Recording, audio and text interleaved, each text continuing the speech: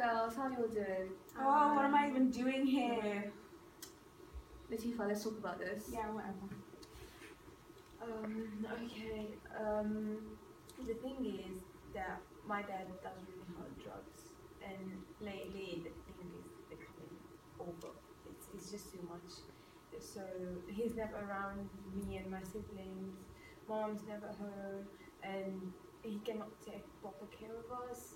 And I, I just have to do everything on my own, and it's just too much. I'm on, I'm, I can't do it. Oh dear. I think we'll have to get him in for another session because we can't, like, you guys can't keep doing this. It's just not fair on you Yeah. guys, and if it continues, we'll have to get social services involved. Oh, I see. I don't even know why I'm still here. Can I go home, please? Latifa, please, like, let me tell you, like, why you're here. Like, Afaf and are going through the same problems as you. Can't you understand? Oh, We want to solve it together. Okay, fine, I'll tell you. This involves both of my parents. They're always arguing. They're never talking to each other, and it just makes me feel sad.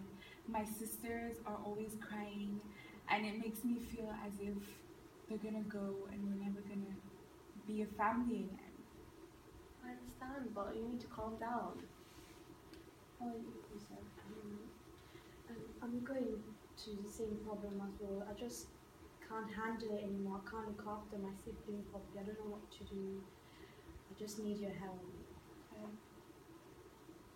Okay, having heard all of this from you guys, I'll see you guys next week and have another discussion. Like, please leave um, your parents' contact details, and I'll see you guys next week. Thank you Anyways. for coming. Thank, Thank you. Bye. Have a good day. Bye, Latifa.